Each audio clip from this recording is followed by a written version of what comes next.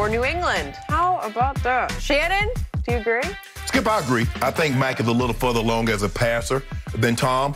Because Skip, remember Tom's senior year, he had this, you know, he was splitting time with, with Drew. I think Drew Henson mm-hmm. was the guy before he eventually beat him out and won the job. Mac Jones had just led Alabama. You can make a case one of the five greatest offenses, maybe one of the five greatest teams in college football history to a national championship. And so he comes in at a, in, in a little bit more advanced state of throwing the football than say Tom. Now Skip, very comparable. They're playing the same style of football. When you look at it, what did they want to do back then? Run the football, minimize the quarterback's involvement, play outstanding defense. Tom Brady's first year starting 2001 skip, the Patriots were number six in scoring defense. This year, 2021, they're number two in scoring defense. Uh, Tom Brady went 11 and three with 64% completion. Right now, Mac Jones is six, six and four with 69% completion. Tom averaged a little less than 190 yards passing a game. Mac is at 233 passing. So you can see, Skip, it's basically the same formula. We're going to minimize the quarterback's involvement. But when you play like this, Skip, there will become points in time in the ball game mm-hmm. that your quarterback's going to have to make a big time accurate throw. And both of these guys thus far, well, Tom was able to do it. We're going to see. Because I believe, and I said at the beginning of the year, I thought this team was good enough to make the playoffs. I was anticipating Cam starting the season, but I thought they were going to be able to play defense, run the football. And with the acquisitions that they made on the outside with Kendrick Bourne, Ag- Agholor, they would be pretty good. So I, I agree, I'm going to agree with Kurt on this, Skip. It's hard. For me, I hate comparing because the league is so different. You know this was so different then than what it is now. But I'm going to say he's a little bit more advanced as far as throwing the football and understanding because now these guys come out, all they do is from the time they're about 11 years old, go to 707 camps, pick up these pro style offenses. So I'm going to agree with Kurt on this. I believe he's a little better, a little, a little further along as far as throwing the football, mm. understanding of an offense than Tom was at this same point in time. I cannot tell you how big a problem I have with what you just said and originally with what Kurt just said. Okay. I love Kurt Warner on NFL Network. This is not personal against him. I just believe he is so wrong and so off base and so out of bounds. And in the end, it is so offensive that he would take this shot at a Tom Brady who was 2001. no, no, no, no, 2001. I'm sticking with 2001 okay. from start to finish. And remember, it did finish with the Super Bowl. So why didn't he start? Okay, so here's what happened. Bill Belichick and his staff were on the hottest of seats.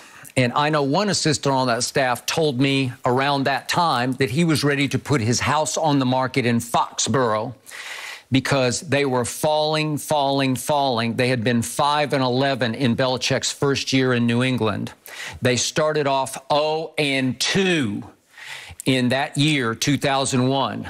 That dropped Bill Belichick as a head football coach in the National Football League to 37 and 58. 37 and 58. So he wasn't Bella genius. He, he was nobody. He had been fired by the Cleveland Browns, and he was in grave danger of getting fired by the New England Patriots. Okay.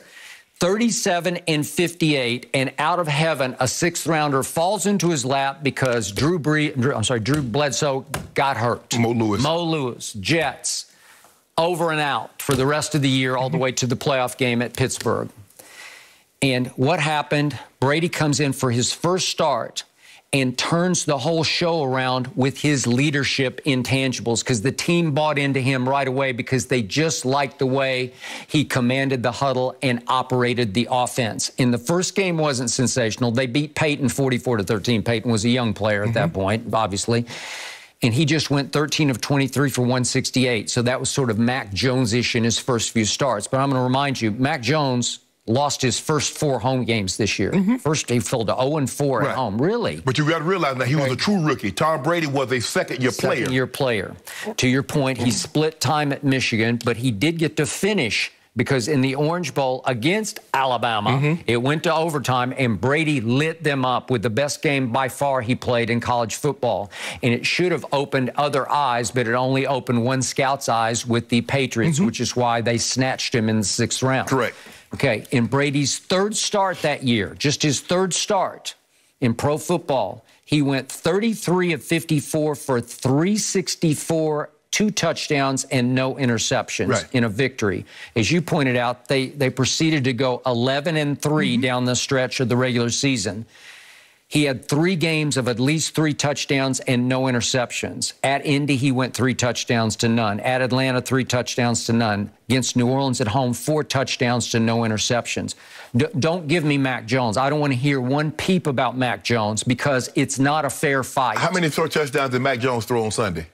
Yeah, well, here's here's your best stat on Mac Jones right now.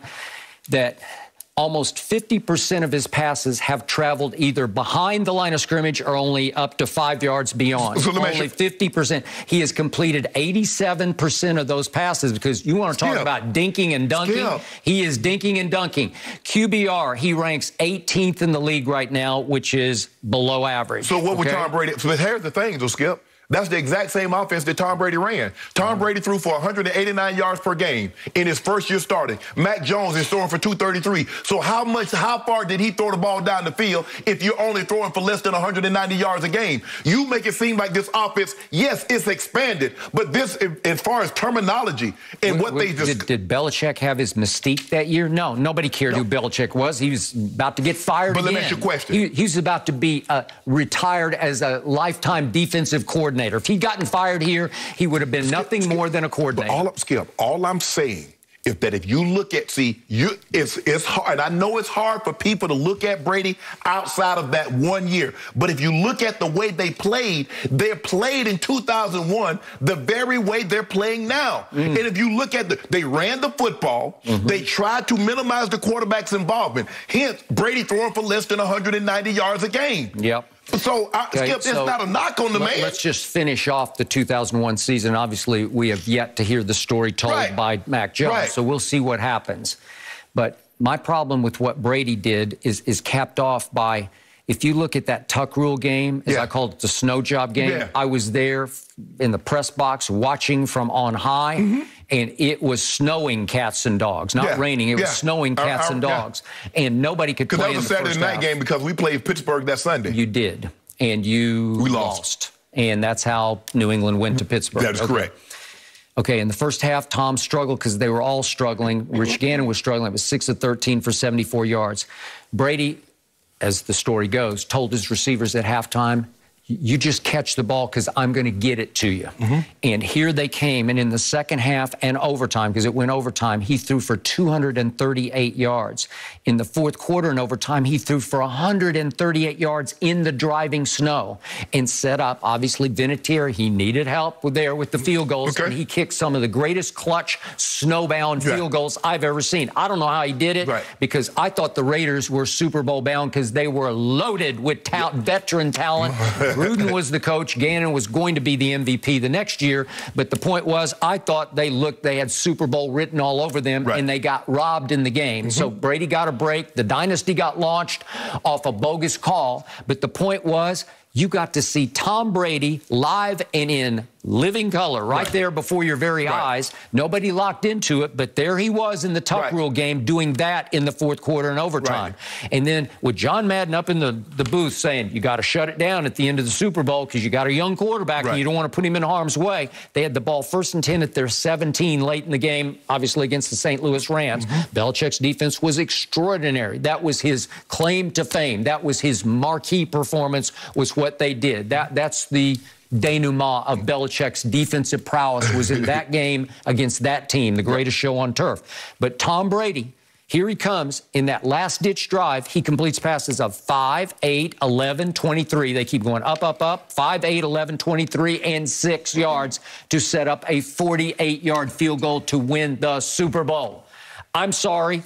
He, he was extraordinary. As a first year starter, it's hard to top this. I, I, and I pity Mac Jones that he's even getting thrown into the same sentence. Think, think about what you said. Okay, with you, Tom Brady. You said on that last drive, Tom Brady had completions of 5, 8, 8 11, 11 23, 23, and, and 6. 6. That's 53 yards. Mm-hmm. Tom Brady finished passing that game with 141 mm-hmm. yards and a touchdown. Yep. So let that sink in. Did he not clutch it up? I, am not, but I'm mm-hmm. not saying that. I'm saying with the way they playing, I believe Mac Jones Jones, and I think what Kurt is trying to get at, and I, I don't want like like speaking for Kurt, but I think he's saying that at this juncture. Now again, Tom Brady was a second year player. Mac Jones is a true rookie.